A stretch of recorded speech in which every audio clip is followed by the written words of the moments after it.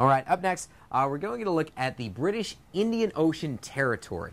These are the, I believe, the very first ever commemorative coin for the British Indian Ocean Territory. Uh, this is the first. This is a history maker right here. Yep. This is the coat of arms silver proof coin. This is A4816. It was struck in 2009, and uh, as you said, it's the first ever commemorative coin of this caliber Yeah. uh, depicting this. Right. Um, that territory has never had any commemorative coins for them. Um, the area is known for its turtles. So you'll see Mm-hmm. on the coin here, on the coat of arms, it features a couple of turtles that are holding up a shield that show, you know, other various uh, points of interest from that same area. The first of its kind. It's a numismatic premium. There it is. I mean, Yeah. that, that's what you want in your collection. It has all the different coat of arms from all the all that area being Yeah. put together in one coin, so it creates its own work of art right there. Mm-hmm. Again, it is silver, very rare metal. It comes with a certificate of authenticity. It comes with the original packaging, and not just first of its kind, but first of the entire region and Absolutely. country's kind. Yeah. At this price.